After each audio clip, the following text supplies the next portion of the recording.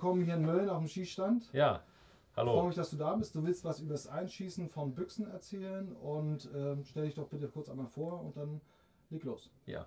Äh, ich bin Jens Tigges, bin seit über 30 Jahren Sportschützen, habe elf Jahre hauptberuflich als Fachredakteur bei der Zeitschrift Kaliber gearbeitet und arbeite jetzt im Marketing für große amerikanische Hersteller wie zum Beispiel Hornady, Savage und Leupold in ganz Europa. Und ähm, uns ist immer wieder aufgefallen, dass es Schwierigkeiten gibt beim Einschießen von Waffen und äh, ich würde gerne so ein paar äh, unserer positiven Erfahrungen aus äh, vielen Jahren Praxis mal äh, hier zeigen, wie man äh, einfach und effektiv eine Waffe einschießen kann. Wunderbar. Vielleicht stellst du kurz die Büchse vor. Was hast du da Ja. heute mitgebracht? Hier haben wir eine Savage FCP-SR. Das ist eine sehr führige Waffe, 50 cm Lauf, äh, kanelliert.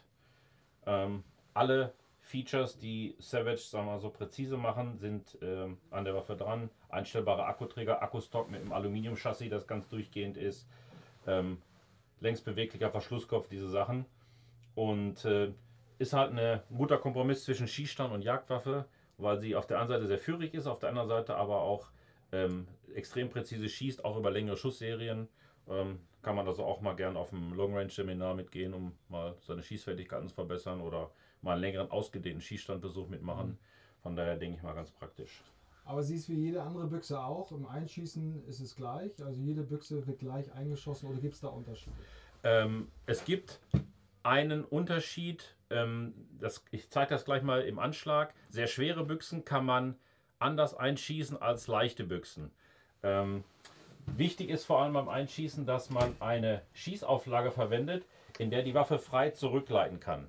Weil das äh, Rückstoßverhalten soll möglichst exakt so sein, wie es vom Hochsitz her sein sollte. Äh, was oft falsch gemacht wird, es werden schwere Schießgestelle verwendet, die zwar die, ähm, äh, das Positive haben, dass man dadurch sehr lange, sehr gute Schussserien schießen kann, aber sie verändern die Treffpunktlage, weil das Gewicht des Schießgestells sich zur Waffe dazu addiert, wenn hier hinten der, die Schaftkappe festgehalten wird. Abgesehen davon bin ich dann nicht mit meiner Schulter im richtigen Augenabstand zum Glas, was auch eine Wirkung auf die Treffpunktlage haben kann. Also die Waffe sollte exakt so in der Konstellation sein, wie sie dann auf dem Hochsitz geführt wird. Ich sollte dabei auch beachten, dass ich die Waffe bzw. das Glas so einstelle, wie ich es äh, mit der Kleidung, die ich dann auf der Jagd trage. Das heißt, im Winter trage ich eine dicke Jacke, muss ich davon ausgehen, dass das Glas etwas weiter nach vorne kommt. Dann muss ich halt sehen, dass es, äh, der Augenabstand richtig eingestellt wird. Gut, einfach mal, ähm, wir gehen mal von der Situation aus. Ich habe mir jetzt ein neues Zielfernrohr geholt. Ja, Das ist auch montiert worden vom Büchsenmacher meinetwegen oder ich habe es vielleicht sogar selber gemacht. Und ich möchte jetzt meine Waffe einschießen, Ja. damit eben die Seelenachse und die Schussachse wieder zusammen funktioniert. ja. Ich glaube, da habe ich die Begriffe schon durcheinander gebracht, aber vielleicht erklärst du, wie gehe ich da am besten ran? Ja, also wie gesagt, wichtig, was du schon gesagt hast, ist, dass man, wenn der Büchsenmacher das Glas montiert, dass man dabei ist, dass man zum Büchsenmacher geht in der Jagdkleidung, also möglichst auf jeden Fall in der Jagdjacke, die halt die gewisse Stärke hat, dass dann der Augenabstand schon mal vom Büchsenmacher richtig eingestellt wird. Hier ist ein kleiner Trick, Zielfernrohr auf höchste Vergrößerung stellen, im sitzender Position mit der dicken Jacke das Glas so einstellen, dass bei der weitest entfernten Möglichkeit noch das volle Gesichtsfeld da ist.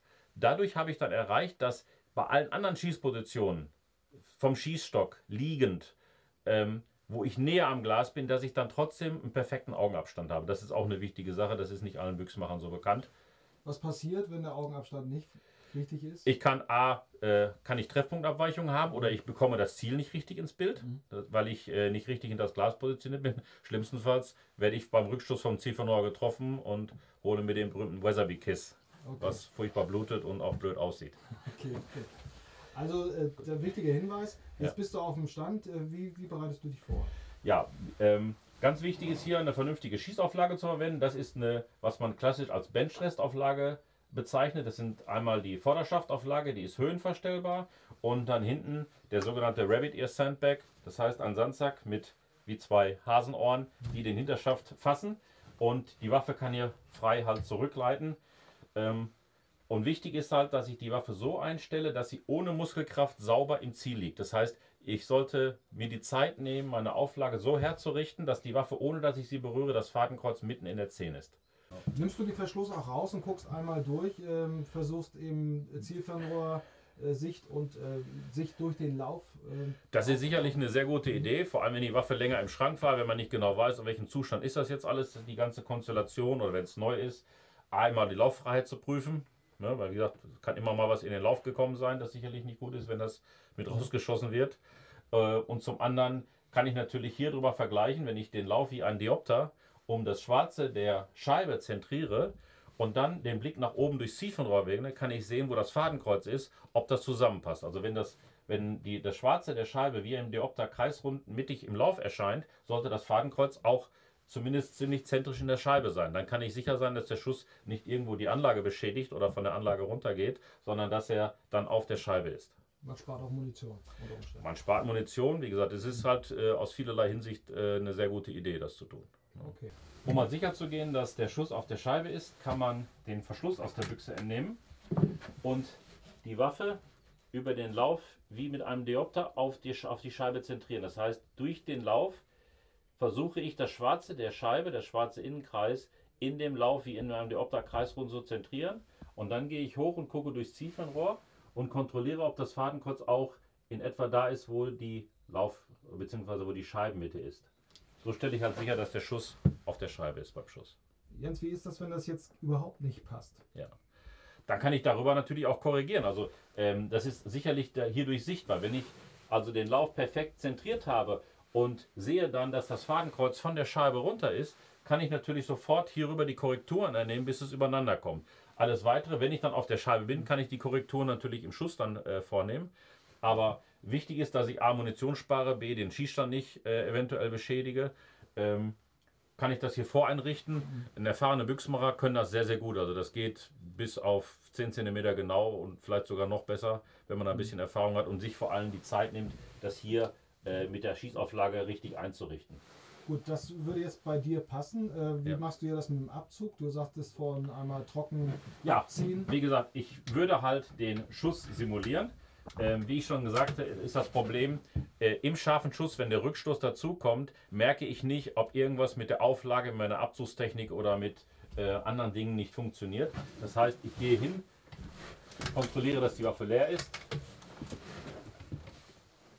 ziehe die Waffe fest in die Schulter ein, entspannt.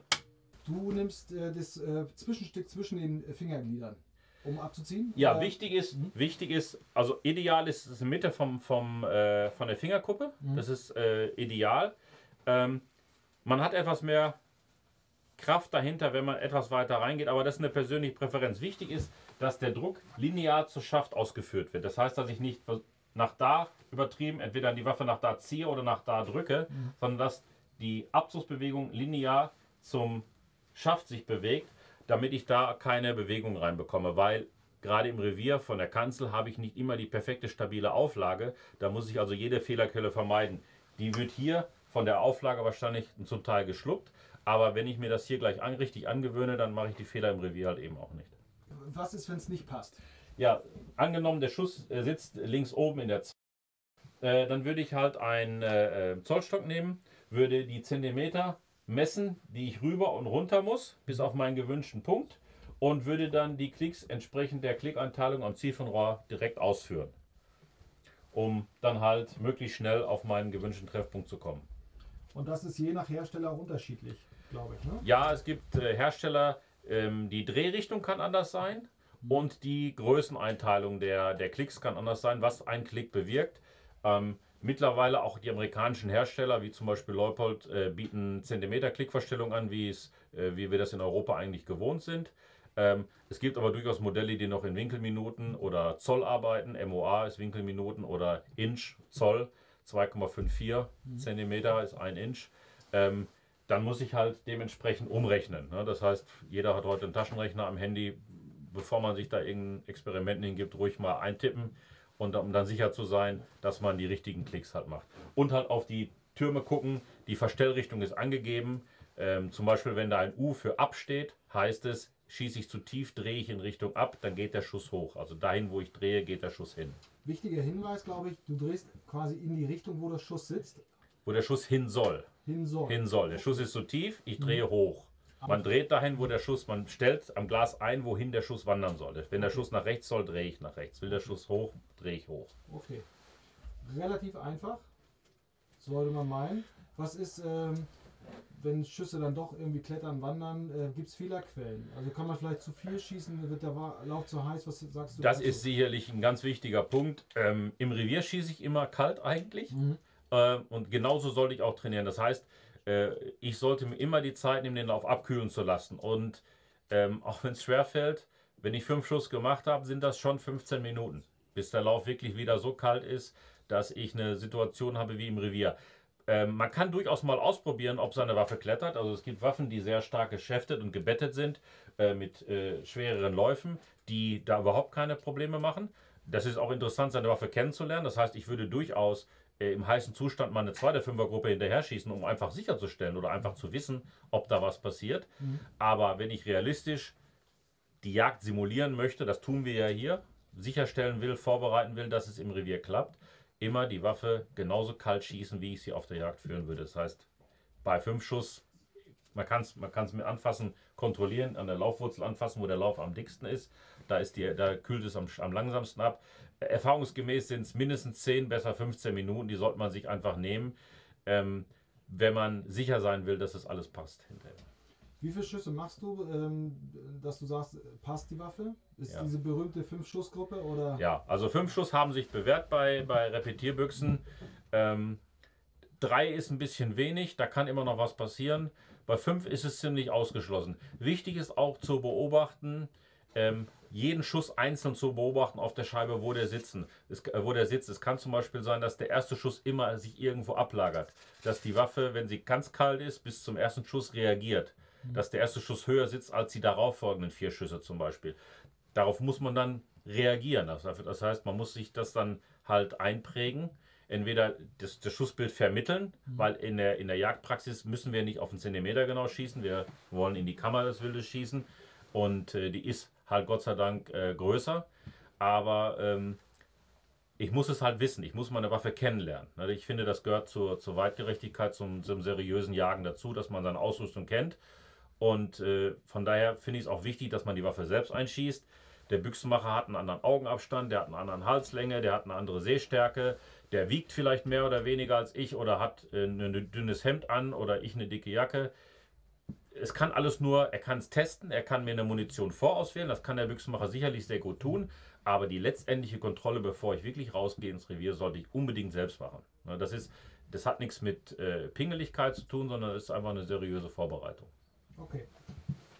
Keine Hexerei, wenn man es wenn man's, äh, so macht, wie du das erklärt hast.